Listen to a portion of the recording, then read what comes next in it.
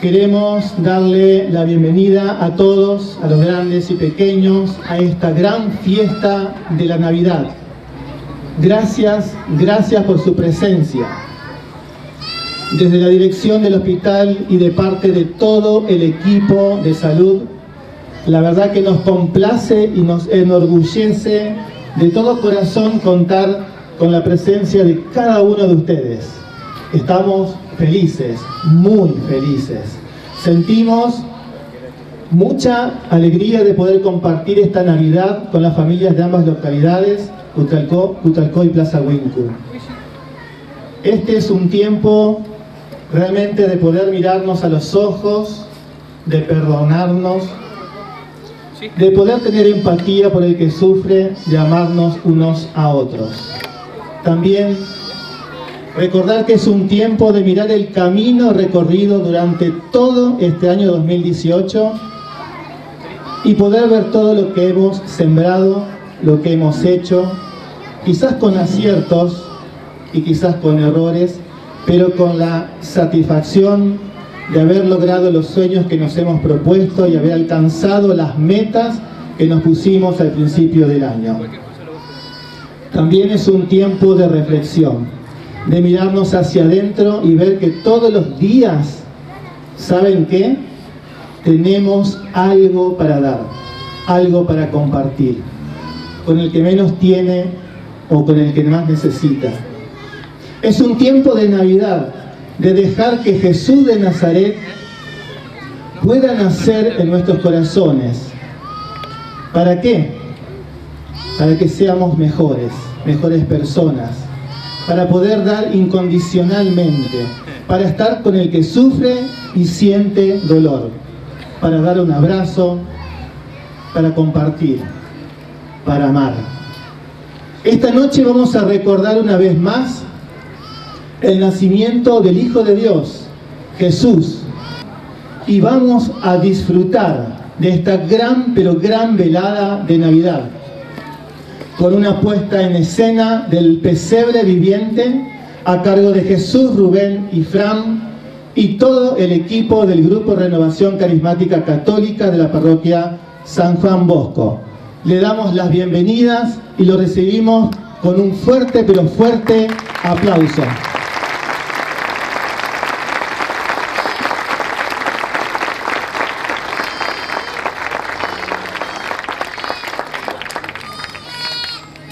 Se acerca la noche más buena de cada año. Se acerca la Navidad. Nuestras calles, negocios y casas se llenan de signos navideños. Hay luces, arbolitos, pesebres y guirnaldas que recuerdan un día único para la historia de la humanidad. El día en que Jesús nació para dar un cumplimiento a las promesas de Dios nuestro Padre, para anunciar la buena nueva de la salvación. Por eso nos reunimos en las plazas, en los hogares y en las iglesias para celebrar. Por eso, con el corazón de cada uno, hay un deseo de festejar esta noche. ¿Pero qué celebramos? Celebramos la grandeza del misterio de Dios que se hace hombre para mostrarnos el camino a la felicidad. Celebramos la invitación a ser hijos de Dios y hermanos entre nosotros. Celebramos el anuncio de la paz a los hombres de buena voluntad que tanto necesita nuestro mundo. Celebramos la vida, el amor, la amistad, la solidaridad, la justicia y la verdad. Celebramos nuestra fe y nuestra esperanza.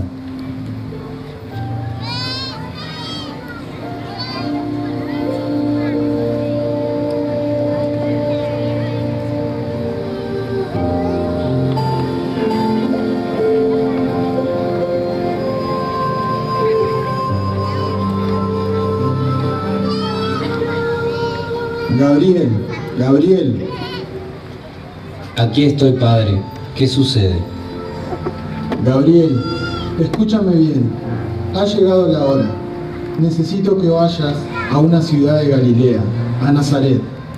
Busques a María y le digas que está llena de gracia y que la he elegido para que sea madre de mi hijo Jesús. Está bien, padre. Ya mismo salgo para Nazaret.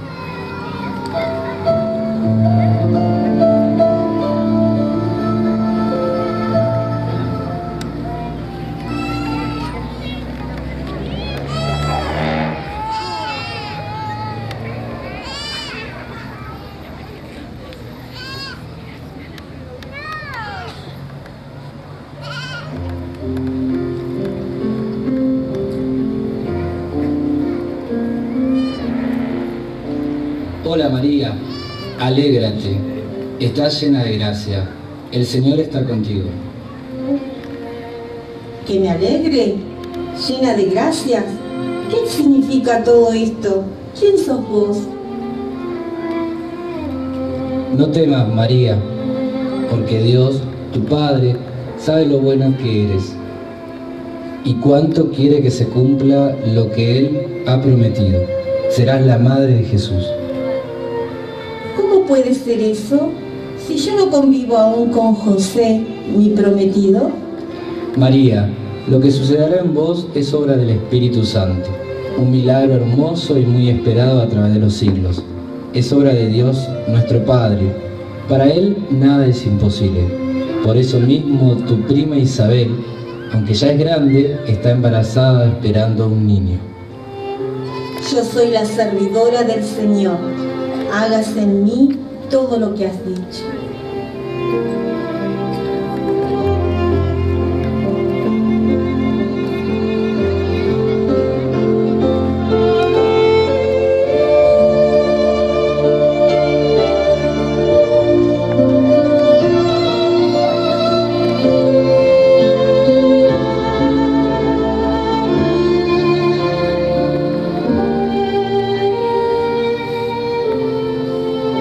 Se pone en camino a recibir una noticia grande que cambiará su vida para siempre.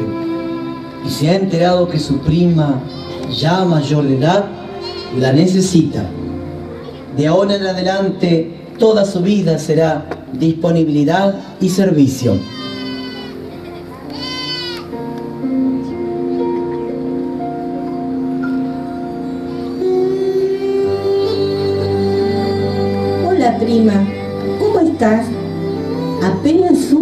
Tu embarazo, me puse en camino para ayudarte. Bendita tú eres, María, entre todas las mujeres, y bendito es el fruto de tu vientre. ¿Cómo merezco yo que vengas a visitarme? Apenas me saludaste, el niño saltó alegría en mis entrañas. Dichosa sos por haber creído que se cumplirían las promesas del Señor. Mi alma se alegra en el Señor.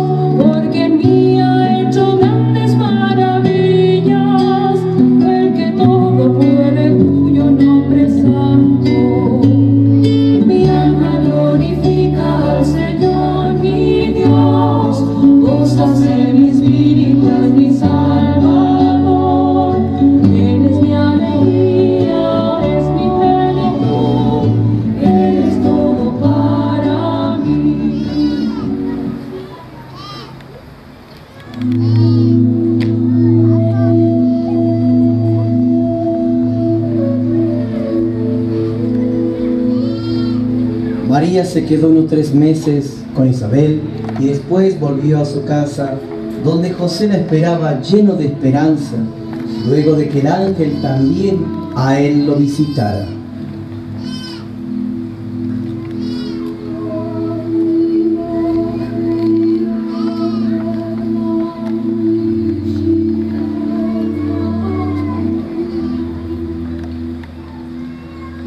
¿Cómo es posible que María esté embarazada? ¿Me engañó?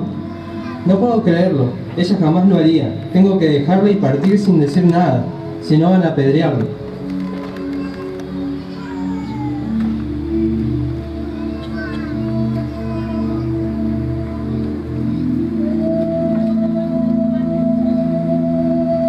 José, descendiente de David, no tengas miedo de llevar a María, tu esposa, a tu casa. Si bien está esperando un hijo, no es porque te haya engañado, sino que es obra del Espíritu Santo. Tú lo llamarás Jesús, porque Él salvará a su pueblo de sus pecados. Él será grande.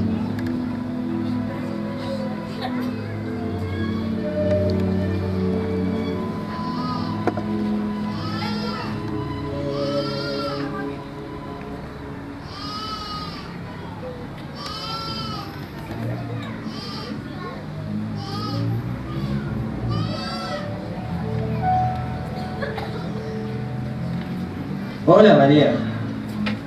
Qué bueno que estás de nuevo aquí. Sentate. Tengo que pedirte perdón porque dudé de vos. Pensé que me habías engañado y no sabía qué hacer. Pero ahora sé por el ángel que el Señor te ha elegido como madre y yo estaré a tu lado. Gracias, José. Estaba segura de que Dios te ayudaría a entender. Y así pasaron los nueve meses en que la vida de Jesús se gestó en el vientre de María, a la espera del gran día en que la primera Navidad se anunciaría al mundo. Pero no sería en Nazaret, sino en Belén, para cumplir lo que había anunciado al pueblo elegido. Por eso, José y María se ponen en camino, a pesar de estar a punto de dar a luz, para cumplir con la orden del emperador de censarse en la ciudad de nacimiento.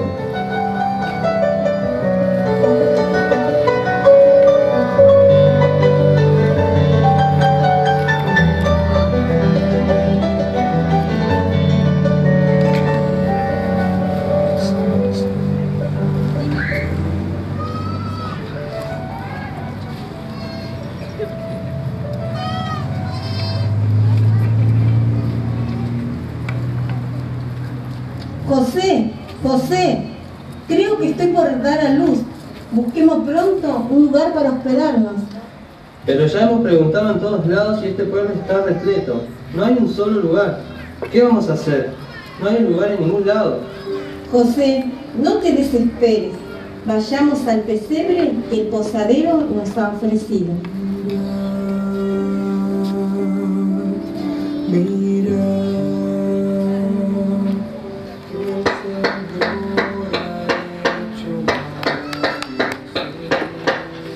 Buenas noches.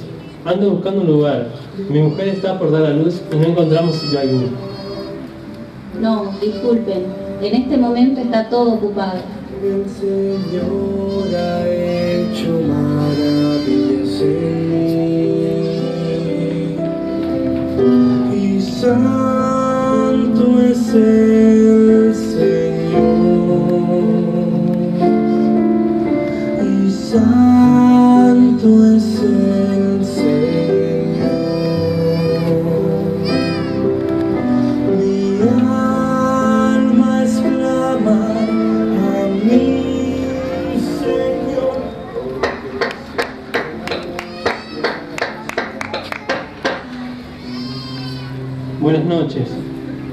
Disculpe la molestia. Mi mujer está por tener y no hemos encontrado lugar. No, en esta casa no hay lugar para ustedes.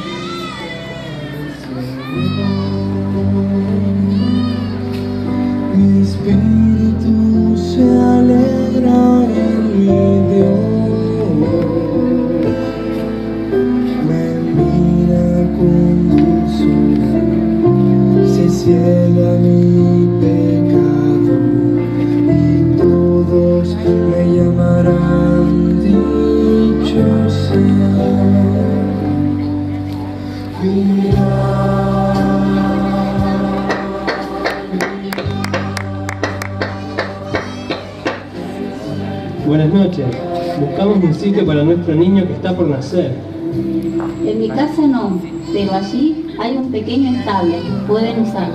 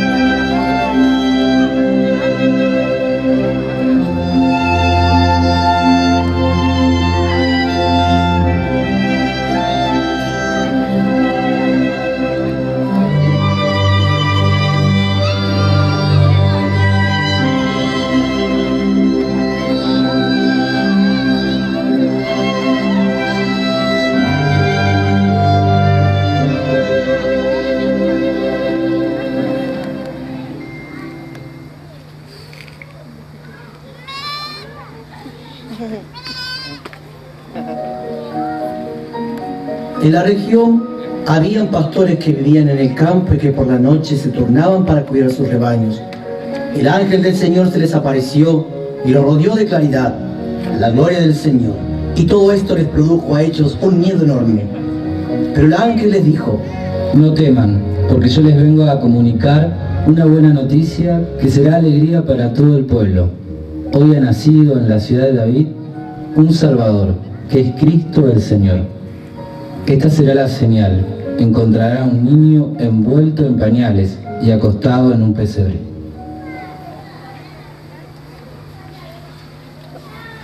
Vamos vamos a Belén,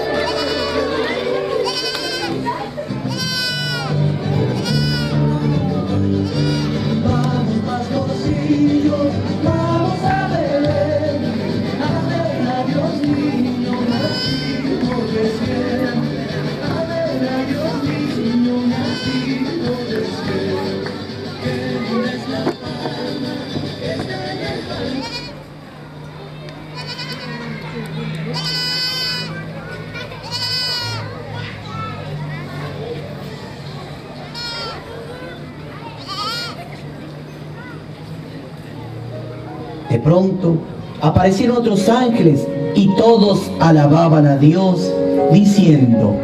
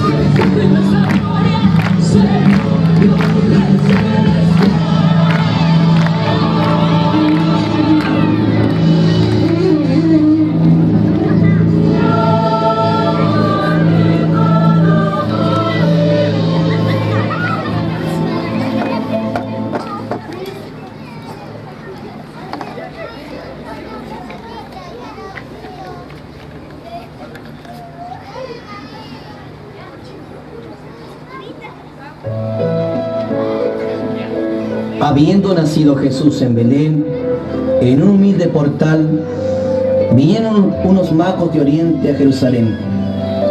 Ellos se preguntaban entre sí, ¿dónde está el rey de los judíos que ha nacido? ¿Dónde lo encontraremos? ¿Cómo lleg-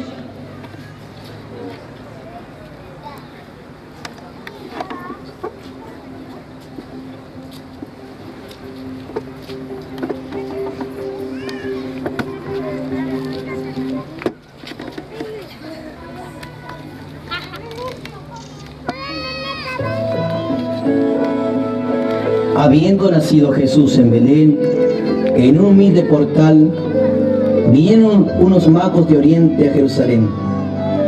Ellos se preguntaban entre sí, ¿dónde está el rey de los judíos que ha nacido? ¿Dónde lo encontraremos? ¿Cómo llegaremos hasta allí? Hemos visto una estrella, ella nos guiará. Sigamos su luz. Es allí donde el niño ha nacido. Vamos a adorarlo.